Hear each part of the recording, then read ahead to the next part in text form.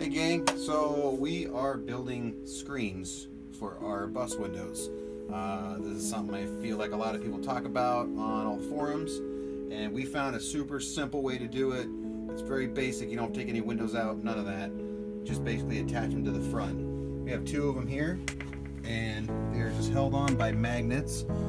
Our nice iron support beam here, so they just pop on and off. Just a sticky back on this mag this magnet strip, and then these little guys down here are just to seal up against the windows on the top and bottom, so bugs can't finagle their way around the screen. And then all you do is open your window, and then pop those on there. Good to go. Bugs out, people in. Alright guys, so here's Linz. She is assembling the aluminum frame for the screen. Super simple. Uh, if you look at the little plastic corners, these little guys right down here, it says to subtract one and a half inches from each dimension, so your height and your width. And that way it accounts for the, those little corners. So we are currently doing, uh, what is it, 28 and 5 eighths long by 12 inches tall. And so we adjusted our measurements. So I cut a whole bunch of pieces ahead of time so Linz could just assemble this and show you guys how it goes together.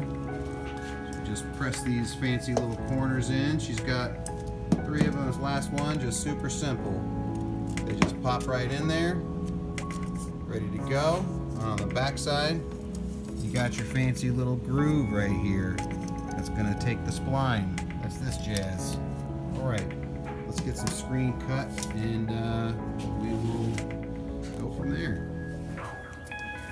So this is super simple guys. All you do is you lay the screen over the frame so it overlaps on all sides. Give yourself a couple inches to work with.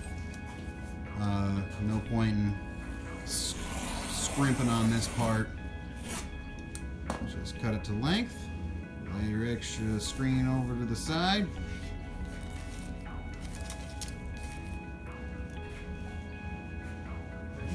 She's going to get her spline out. So she's just starting with getting that little spline, the little end started in there. Always a tricky job getting them started. Once you get that guy, you're going to grab your your splining tool, that fancy little Gipper, which uh, we bought all these things at Home Depot. Super easy to get in any home improvement store. And uh, this the screen actually came in a kit, came with the splining tool, extra spline, the screen. We did have to buy the metal frame and the corners, but um, kind of nice they do a kit where everything is included. So you just roll that guy back and forth. So as you can see, that spline is nice and flush down in there. And so you're just gonna attack these corners Get them pressed in there. And keep moving along.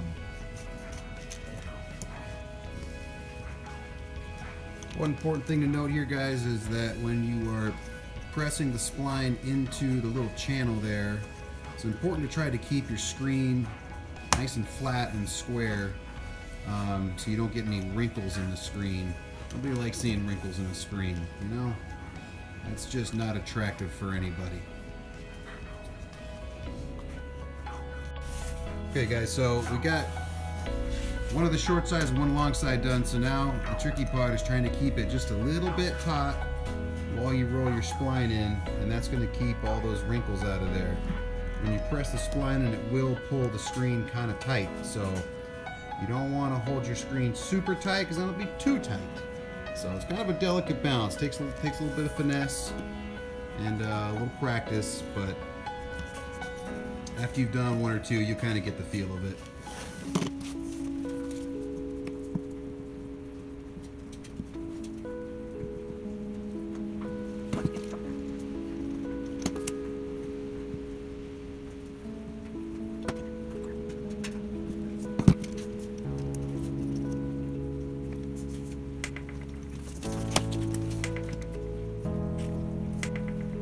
once you get to the end of your spline and you're just about done, you want to cut it just like a quarter of an inch short.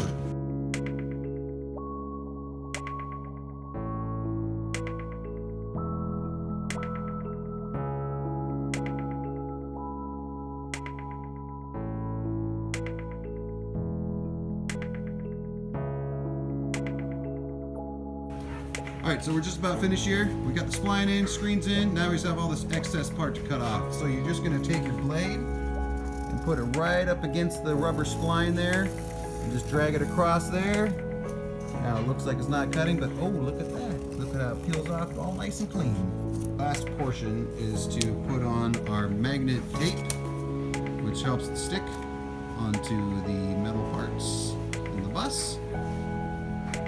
She's just gonna lay it down here just to get an idea on the length. Get some nice heavy duty tin snips, makes it cut real easy. They say you can use regular scissors, but I don't know, tin snips seem to work a little smoother for me. We've got our fancy sticky uh, weather stripping tape just to fill in the little gap on the top and bottom. So one side sticky, just like the magnetic tape. The other side not.